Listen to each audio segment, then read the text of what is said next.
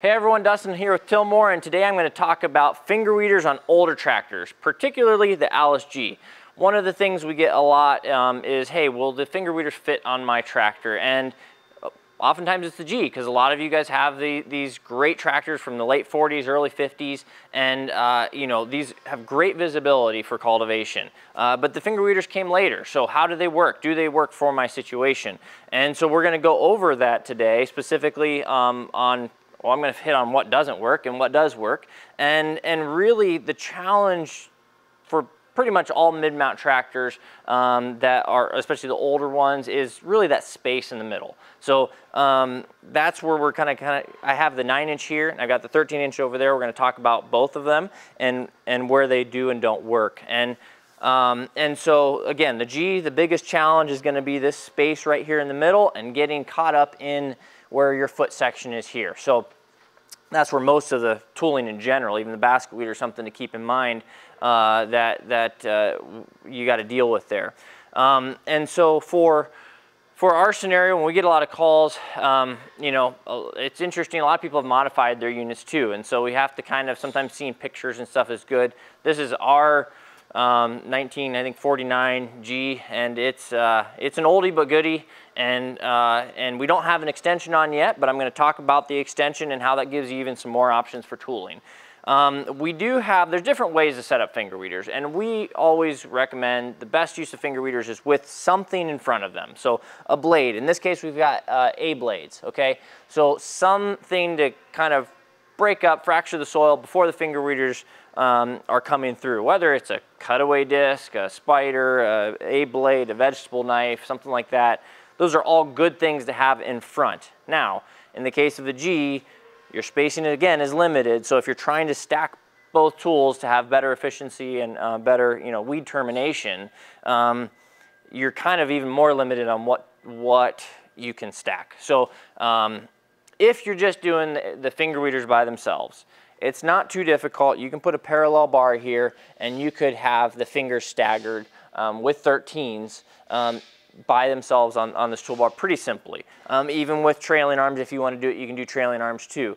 Again, we tend to try to recommend to add something in front of it. So if you want to add something in front of it, we went with the A-blades for this particular setup because I've got an A-blade here and an A-blade here. And my row's coming through this, this area right here. If I had something like a vegetable knife, tender plant hoe, disc or something, I would need to have one on each side, like I do here, but then I'd also have to have another one in next to the middle row.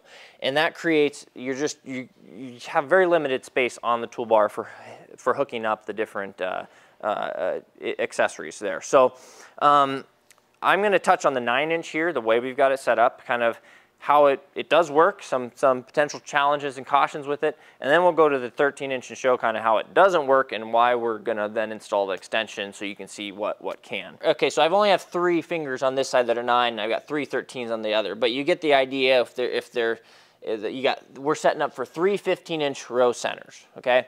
Um, if you're going wider than that, obviously you got more space to push things out. If you're going narrower than that, say a 12 inch row centers, um, you're going to uh, definitely need the extension in that case um, and the 9 inch fingers. Um, but for this case, 15 inch row centers, 9 inch fingers, um, you know, the middle row works pretty good. Uh, one thing to keep in mind here is this torsion bar, technically, um, when this is in the ground, depending on where this, uh, the, the toolbar is lifted, this bar can catch this piece right here, right in the middle, okay? Now, that's pretty easy fix if you want to just torch or grind off that end a little bit if you need to. Again, eh, you probably don't based on the orientation that you're, you're, you're going to be operating it in, but one thing to keep in mind. Otherwise, this is pretty straightforward there. This is the piece that gets a little bit trickier, okay, because um, we have this, your footrest right here. So this is just barely clearing it. And if you've got your foot sitting up there, um, you don't want it to bump it off, uh, just some safety things to kind of keep in mind there. Ideally, a bigger offset shank would help you um, to bring this stuff even further and still have your finger um, out where it needs to be. Um, but this does work, okay? The caution with, with any of these things without the extension is as an operator, you're gonna be sitting right here, okay? And well, not a big problem right now, okay? It comes up right, right next to it there. But if I have my foot here, not a big deal. It might bump the bottom of it. Again, not quite recommended. But if you have these further in, um, then you're coming into here, which if you're sitting here and these, these are right behind you, if that comes up and catches you, it could catch the back of your foot there, which would not be very fun. Um, and so while this does work with the nines without the extension, just there's a few cautions to kind of keep in mind. So here's the 13 inch side. Now this you can see we're getting a little tight on some things and there's a couple things to kind of look at. Obviously this right here is not ideal when you're when you're doing that. So you really don't want that because it can catch them, drag, and you can then wipe out some of the crop you're doing. So you don't want that. You really, this needs to be back further. Now in this case, you know, this is as far as this can get back on this mod bar. Um, we could go to our next length and bring it back a little farther, which would help um, keep it away from here. Now the problem is, again, if I lift this up, I'm getting really close to here. Um, and if I have my foot's here, uh, then this is going to be bumping your foot. You could have more pinch point uh, concerns there. And it really just, it's not, without the extension, I, we really would not recommend trying to do the 13s. You, you, you can, do some kind of finagling around to try to make it to work, but it's it, you really need to uh, uh, get the extension if you want to do the 13s. Now, if you want to do the 13s with, say, uh, two 30-inch rows, definitely that works. That works great um, because you these can come up further. Uh, but if you're trying to do 15-inch rows, um, and even really, I would say anything where you're doing three rows with 13s under G, even if you're doing 318s or 320s, you're, you're really going to struggle. Uh, you're going to have to get back as far as you can, uh, which gets close to here, but really it gets really close into here. So uh, really I would say 9 inch, um, trying to focus that on the, the, the, smaller row spacing. If you want to do the 13s, definitely put the extension in. So we're going to do a video on that so you can uh, take a look. Um, we'll add that down in the description uh, and that's a good way to just, you know, this will be a fun one to do because we, I can already see here this whoever had done this uh, previous G actually welded the frame in a couple spots here. So we're going to have some cutting and grinding to do, uh, but we'll show, you know, it's doable. We can make it work and, uh, and uh, it'll be a kind of good then to see after the fact um, how the 13s kind of can, can fit in. So we'll rope back around after that one's done uh, and we'll show uh, the 13s fitted in here. All right, I'm back and we got the extension installed with a little persuasion. And really our focus at the end before was, hey, how do we fit the 13 inch finger weeders in here? And we went through kind of why it didn't fit. Uh, we actually flipped the tractor here so you have a little bit more visibility for what we're doing. But uh, let me show you why the extension makes it work, um, whereas before you already saw why it didn't work.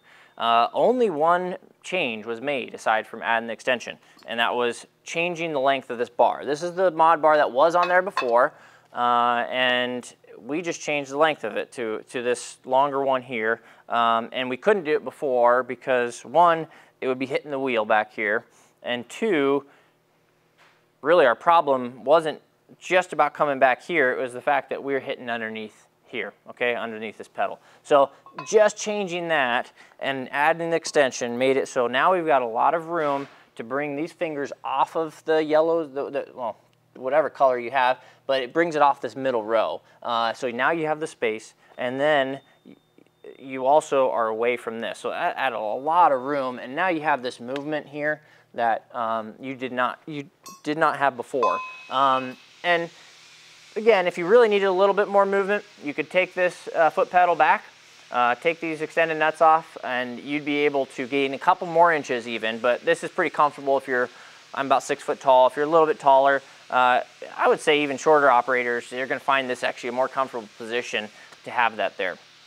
Um, so that's, you know, that's why this works and is necessary for the 13 inch setup on 15 inch centers.